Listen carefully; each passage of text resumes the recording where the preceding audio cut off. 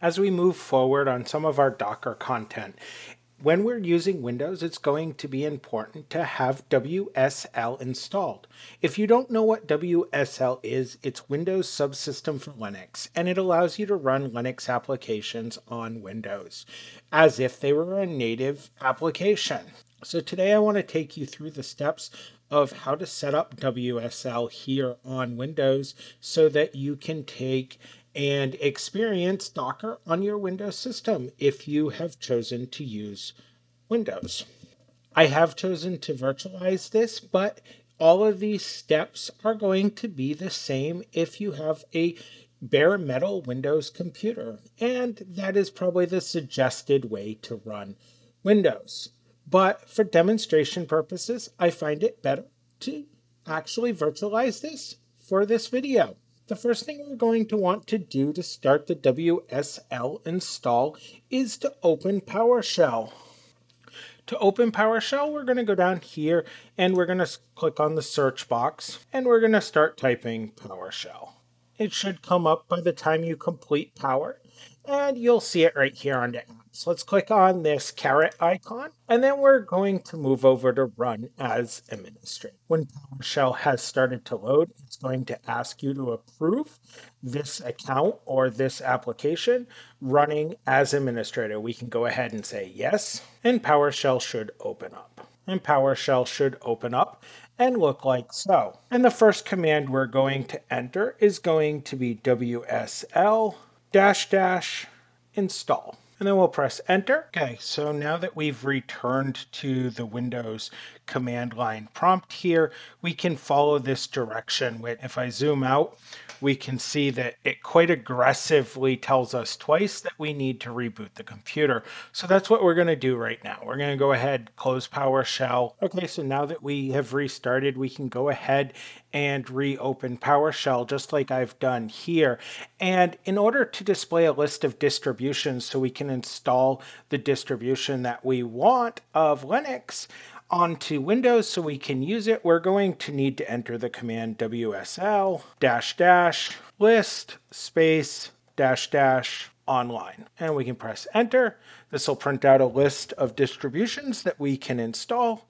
And we're going to use the command WSL dash dash install dash D and the name of the distribution. And I'm going to use Ubuntu. So the command should look like this. And we can go ahead and press enter at this point it's going to pop up a screen asking us if this is what we want to do. And if we want to do it as administrator, we're going to go ahead and say yes.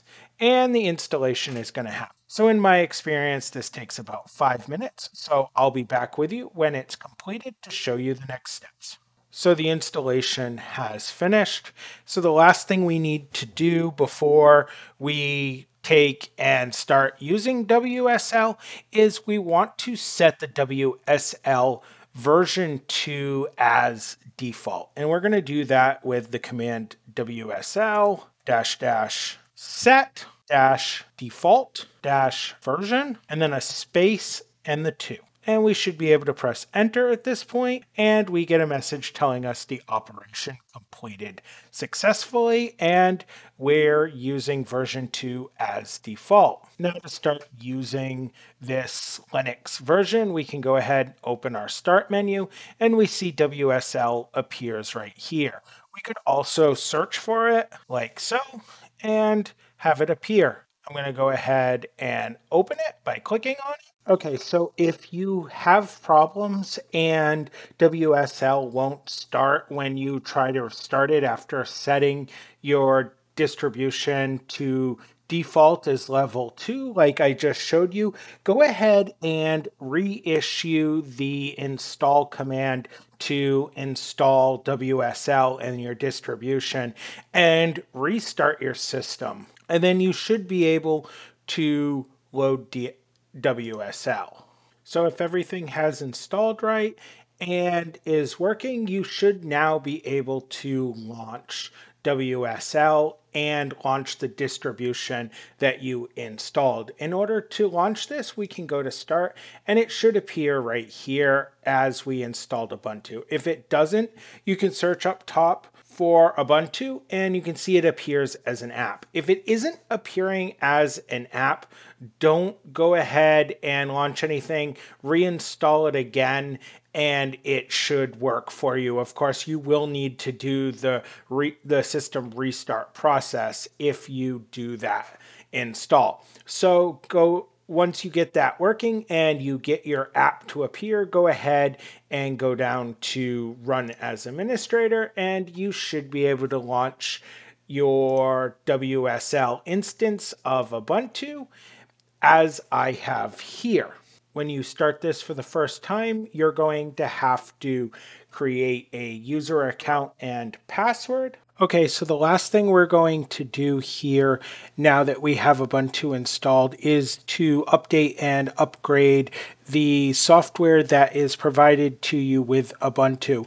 We're going to do so with a command that is apt update and we'll string it together with the upgrade command that involves two ampersands and the apt upgrade command. And the last part of this command is the dash y command that answers yes to the question whether or not we want to update that. So now that we press enter, the upgrade and update of repositories will happen.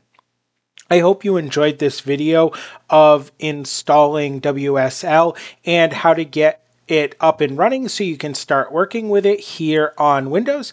If you enjoyed it, please consider liking, sharing, and subscribing to get more content from Virtualize Everything, as well as to help Virtualize Everything continue to grow and fulfill its mission of teaching and learning. As always, have a good night.